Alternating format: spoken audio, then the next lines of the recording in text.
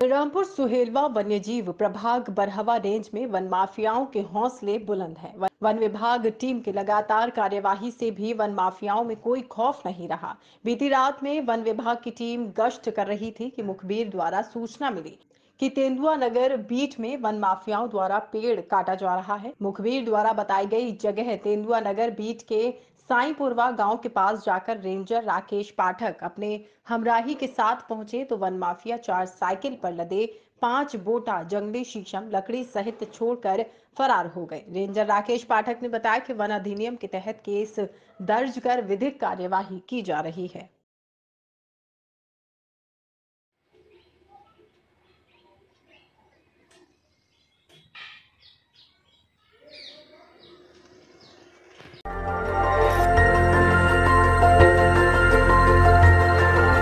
देखते रहिए डीबी भारती समाचार। नज़र हर खबर पर।